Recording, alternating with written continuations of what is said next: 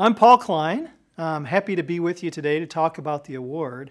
The best way to describe myself is I'm a leader that's passionate about digital technologies, sustainability, and FIRST robotics. Um, I've spent my whole career in STEM, specifically in information technology, and I'm a senior leader in Dow's IT organization responsible for using digital technologies to improve our environmental sustainability strategy. With FIRST, I'm a parent, a mentor, uh, a volunteer, and uh, proud to be the sponsor for the Dow FIRST relationship.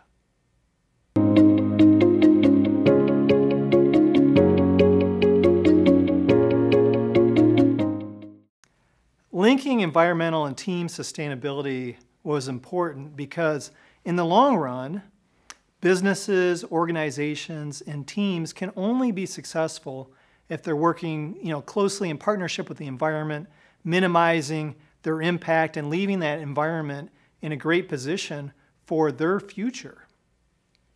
When you think about um, FIRST Robotics and the impact uh, that you can have on the environment, it really becomes integral to the way you develop the future strategy for the organization and for your individual teams.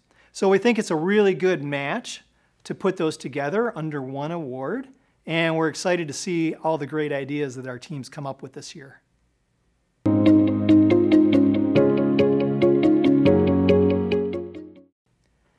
Dow does a lot uh, focused on environmental sustainability. In fact, it's critical to our business strategy. It's one of our uh, top strategic goals, and it's part of our ambition uh, to be the most sustainable material science company in the world. A few things we do as examples. We invent materials that solve customer problems for environmental sustainability, whether that's protecting food uh, in the agriculture chain or lightweighting vehicles to reduce transportation emissions, or uh, improving energy efficiency for buildings and appliances. After we invent those materials, then we have to manufacture them in a way that is very low impact to our environment. So we are innovating and investing significantly in manufacturing technologies that are low carbon and low water to make sure we produce those valuable materials in the lowest impact way possible. And then lastly, at the end of those materials' life, it's really important that they're recycled appropriately, and ideally they come back to us as an input for our next set of circular products.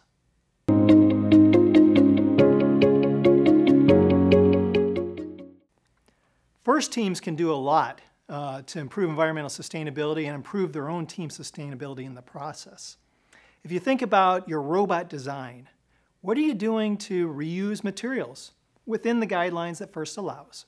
Um, what are you doing to purchase uh, recycled materials, to source those locally so you minimize the uh, transportation impact? And how are you designing your robot for reuse in future years? And then for transportation, think about how to leverage public transportation where possible or share private transportation. When you go to um, attend or plan local events, how do you do that in a way that the event itself has a uh, very positive environmental impact? And then lastly, from a community perspective, uh, we think that the young leaders coming out of FIRST have a great role to help drive education, outreach, and even innovation at a community level using their STEM skills to drive environmental improvements. When you put it all together, we think that this focus on environmental and team sustainability is going to allow students to be successful individually, teams to have long-term futures, and help the overall uh, mission and future of the FIRST organization.